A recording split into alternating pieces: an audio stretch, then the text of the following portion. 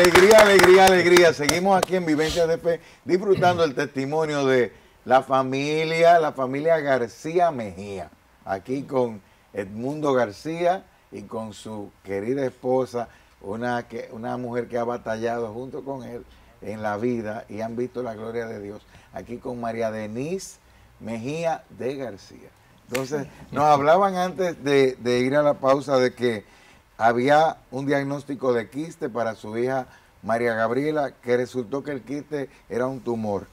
Hubo, hubo el riesgo de que, se, que la intervención fuera, eh, se hiciera una intervención inicial que al parecer no se hizo. Cuénteme un poco, no se hizo y qué convino después. ¿Qué, ¿qué pasó con el cambio? Había un médico experto al que ustedes fueron que lo despidió, el, el que iba a operar dijo, no puedo, le dar un mapita y ustedes van desamparados ahí con su pues mapita y desorientados allá a buscar una operación que había que hacerse. sí, que había que hacérsela y hacérsela eh, de emergencia y íbamos sin pensarlo como dos huerfanitos.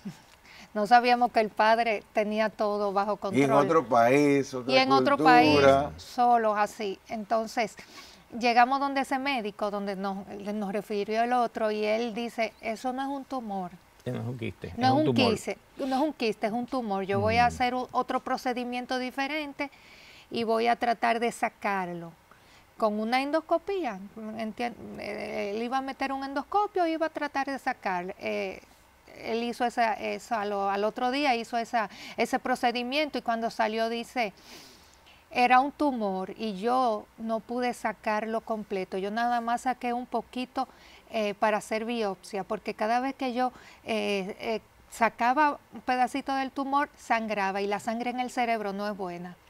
Si el otro médico hace ese procedimiento, la niña no, no sale de la no Sale de la cirugía. Hubiera muerto.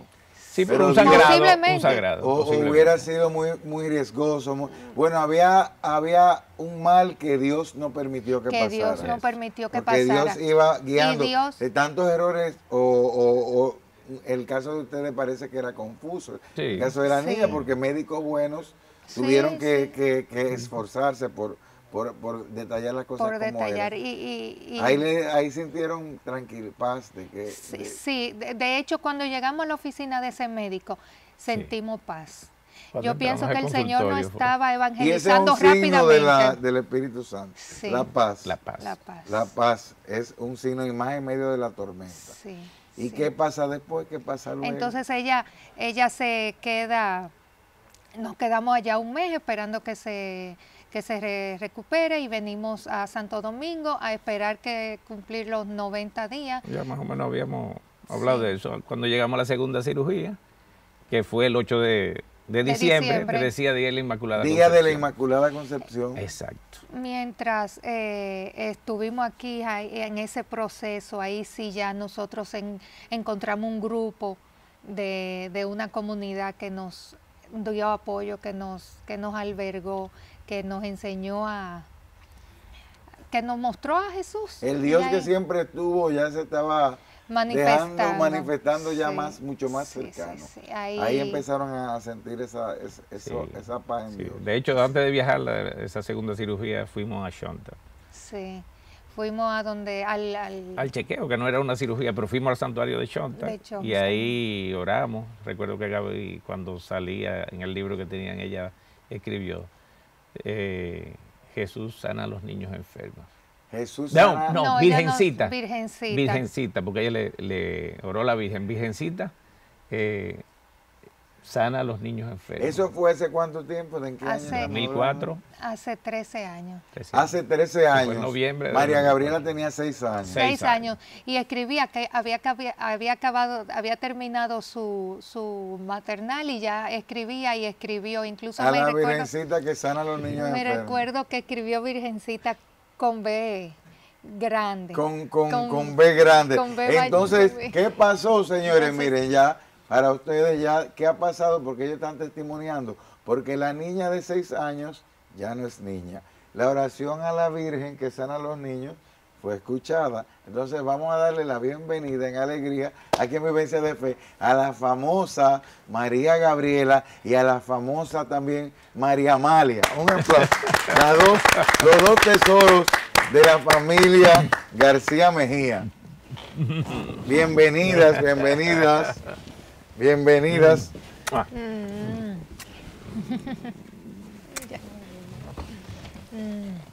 Aquí están.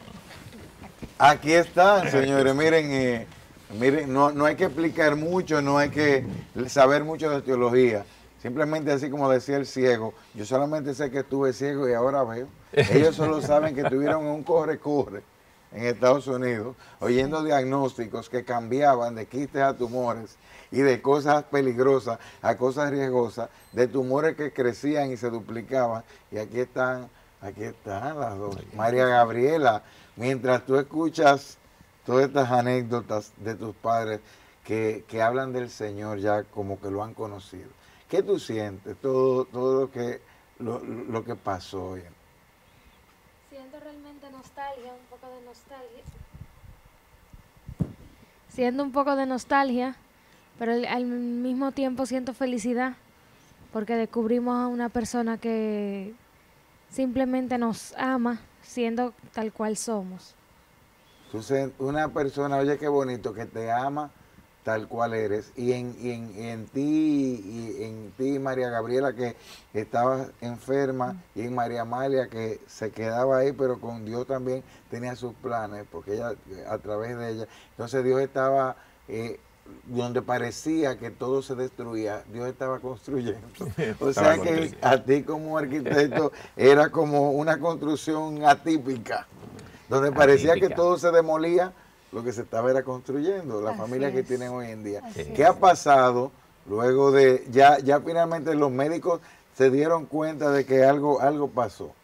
sí, se dieron cuenta de que algo pasó porque eh, empezamos ahí, eh, después de la segunda cirugía del 8 de diciembre, empezamos su, su proceso de, radioterapia y quimioterapia, eh, lo cual era un tratamiento fuerte para, para eso que, que, ella tenía para su, para su tumor.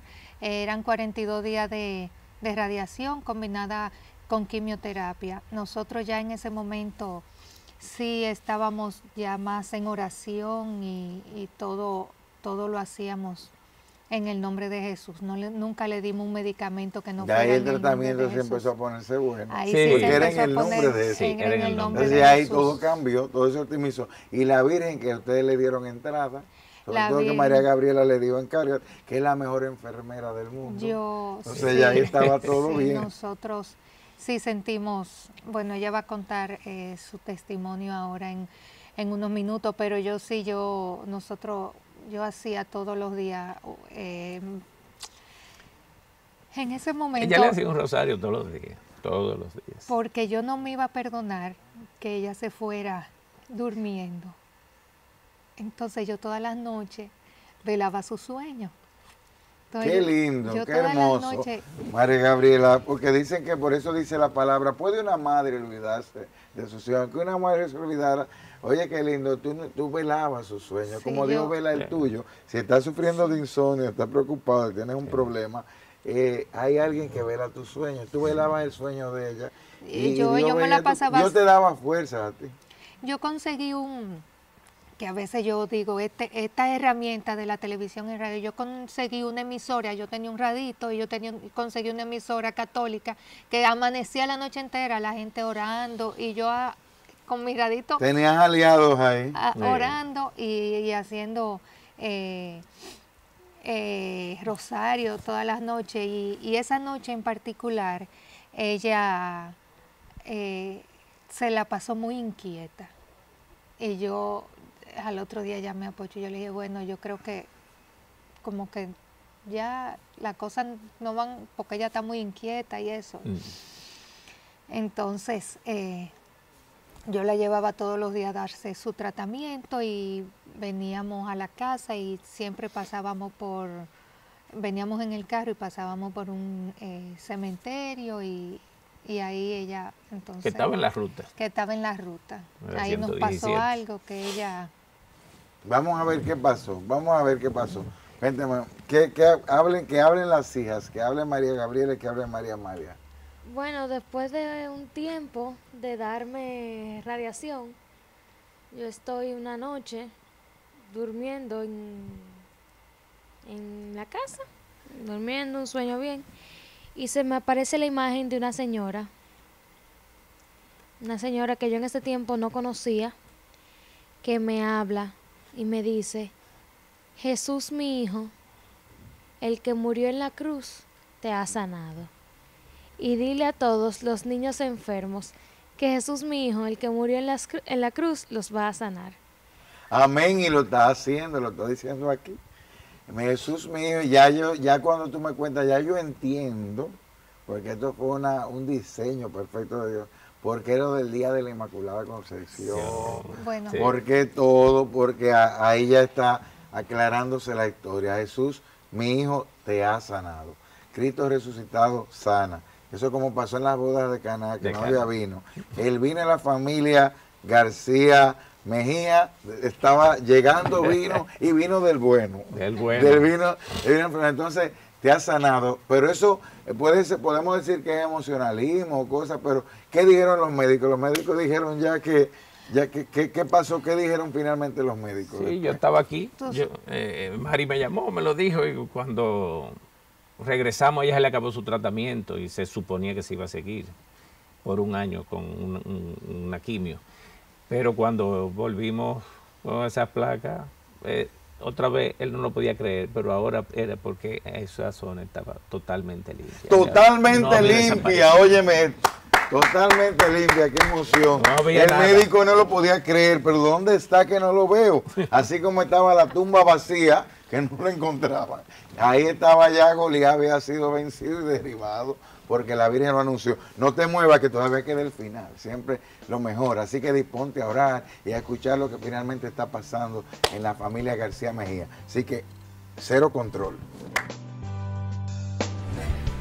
En realidad eso fue algo muy, muy orado, porque nosotros en fe sentíamos que ella estaba sana, pero para un padre tú quitar el tratamiento de un hijo, que los médicos te están diciendo, es pues. difícil, pero nosotros por fe sabíamos que ella estaba sana. Entonces, oramos y le pedimos que no, fue algo de impulso, fue algo de oración fue algo, y en sano discernimiento. Sí, Pero le creyeron a, su niña. Le, creímos, y, sí, claro. Le tocó casi ser como María, creer maravilla. Yo, a mí nunca me ha gustado entrar a, cementerio y ella me pidió que la entrara a un cementerio y yo no me atreví.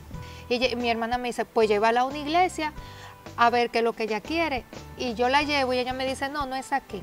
Entonces esa noche yo le dije, bueno Señor, yo voy a ser obediente. Si lo que tú quieres, porque yo me fui por otro lado, si lo que tú quieres es que yo aprenda a ir al cementerio, porque eso es lo que me toca, yo voy a ser obediente. Y al otro día yo la llevé. Pero sí puedo decir que desde muy pequeña mi familia, mis padres y mi hermana se han encargado de que el mensaje de que Dios está conmigo siempre lo lleve aquí.